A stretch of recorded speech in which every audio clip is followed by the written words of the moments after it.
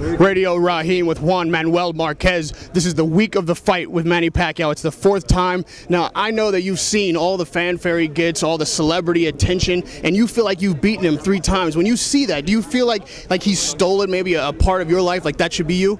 Yes, uh, I know a, a lot of people, a lot of people knows what happened in the last three fights, but I, I, I- I prepare myself very hard because I want to give another another great show.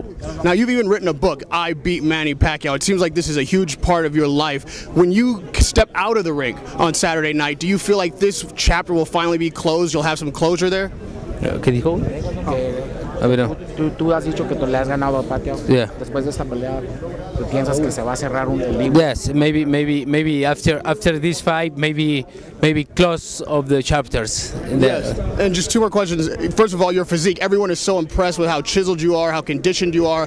Uh, first of all, what did you do differently, and how is this going to advantage you in the fight? I train. I train very hard. I train in my speed.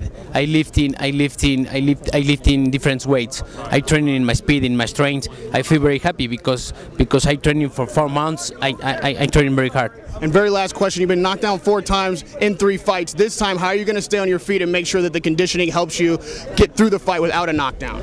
Yes, I feel great. I feel great. I feel I feel ready for this fight. I looking for the knockout. Pacquiao is very strong, but what I looking for is in this round. Manuel,